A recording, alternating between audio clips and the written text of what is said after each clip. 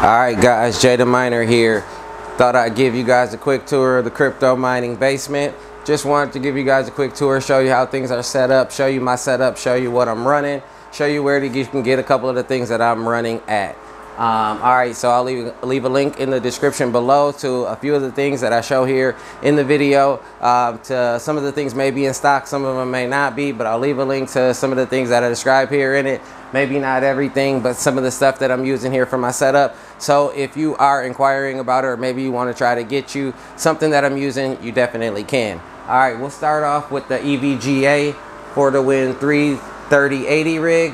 Right here, I'm running six cards, six 3080s here. Five of them are EVGA for the win. Three edition cards. The last one over here is uh, Asus ROG Strix 3080. So it's a 6 by 3080 rig total. For the motherboard, I'm using the Asus Prime Z 390p motherboard. And this is the 4 inch touchscreen um, from Amazon for the, red, for the Raspberry Pis. I use these for all my rigs just so I can monitor them keep a good eye on them and see what kind of you know hash rate they're getting. Even though I could use the GUI I like you know having it on the rig just so I can observe them all right and if I ever need to do anything to them right away I plug right into the motherboard. There I go. Um, on this rig I'm running two 1300 watt EVGA gold power supplies on this one. Up here I'm running a 6 by 3060 Ti rig. Five of these are EVGA for the Win 3 one of them is a 3060 Ti XC. Um, we over here we've got a 1050 Cougar power supply and also a 1200 EVGA Gold power supply uh, as well on this 3060 Ti rig. Also got the Raspberry Pi touchscreen as well. Over here I've got my PDU um, that I'm using to run all my power supplies on. I've also got another PDU up here on the top rack. I got my network switch up here so I can run all my rigs make sure they're all hooked up via ethernet. I do not like using Wi-Fi. It's just a much more reliable connection um, using ethernet. On each of these 3080s, I'm getting roughly about 98 mega hash each.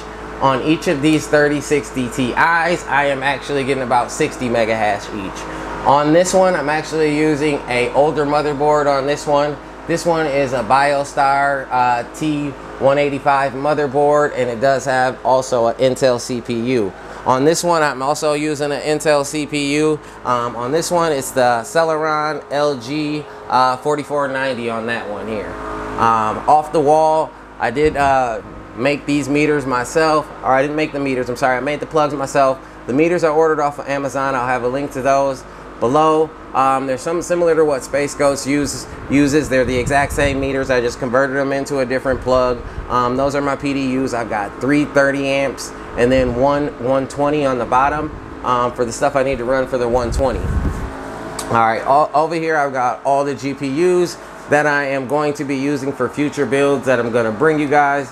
Um, all the GPUs here. If you're wondering where I sourced almost 30 GPUs at, I did get them all off of eBay and I did overpay for them. I paid two double to two and a half times MSRP for each of the cards that you see there. For the 3060 Ti's, roughly about 1200 uh, For the 3070s, uh, 1314-ish.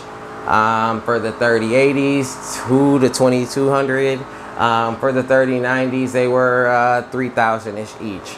Um, so I have yet to utilize that B250 mining expert motherboard there. That one I'm going to utilize on the next build there. I've got a couple of uh, processors that we're to use for future builds. All this stuff I will bring to you on future builds. We are to build every single graphic card you see here will be used in a build. All right, down there we've got the Mindbox 12 as well. We've got a bunch of extra fans. I'm a fan of the uh, Noctua fans but I'm a bigger fan of the Wathai fans. I've got about 30 of those over there. I'm probably to be using those primarily in most of the builds. Down here, we've got all the uh, extra components that we need. We've got thermal pads. We've got extra uh, power splitters. We've got fan splitters. Everything that we would need for our builds.